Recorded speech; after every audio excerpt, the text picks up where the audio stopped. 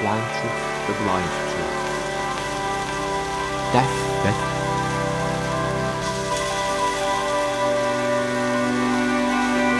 Nicko Straniero.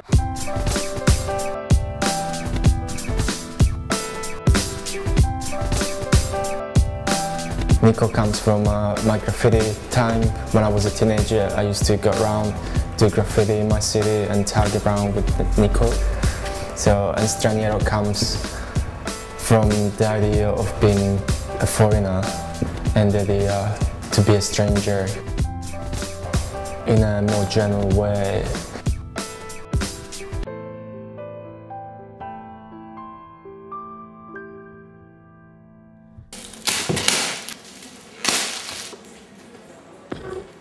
I'll take you to a secret place in Covent Garden I just uh, discovered yesterday. It's a courtyard. No, sorry, it's like a church courtyard. There is a beautiful fountain. Welcome to nowhere. Welcome to nowhere. I used to come to London during summer breaks and used to go around the exhibition and one, one day I just saw something that stuck in my imagination and my mind and there were paintings by some artists they did look somehow like prints. To the secret garden from the secret entrance. Place. Yeah, doesn't look quiet here. That's the church I was talking about.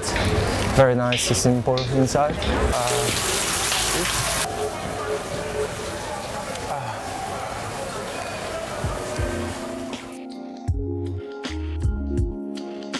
I was quite interested in creating large graffiti that somehow resemble stamps. Read my lips. Read my lips. Sometimes they can they can be used in very geometric way, even more emphasizing their own geometric shapes. And some other time they can be used in more organic way. Scream. Scream. You know, you can come across places that you never seen before. And that's how I think you build up your idea of London. It becomes like a collage of your private spaces in the city.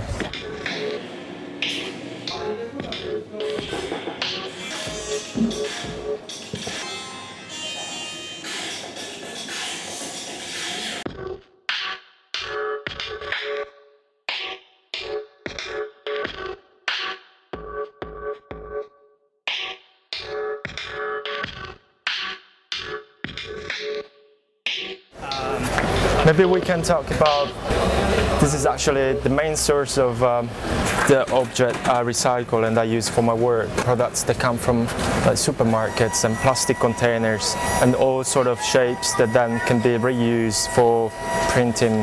Definitely these objects designed and the shapes. Word after word. Word after word. So I think uh, the opportunity given to me to work in Tenderpixel Gallery for a couple of days, working on a large mural like this, um, is definitely a great, great opportunity and a challenge for me to explore further my own idea of painting.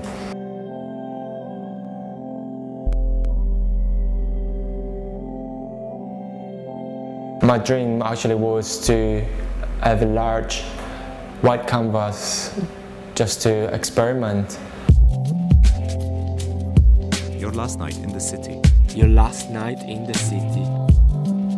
On top of the giant wheel. On top of the giant wheel. What do you want to see? What do you want to see? And I'd, I'd love one day to be able to push my work outside the space and take over space, not just the wall, but a space perhaps in the streets. That's it.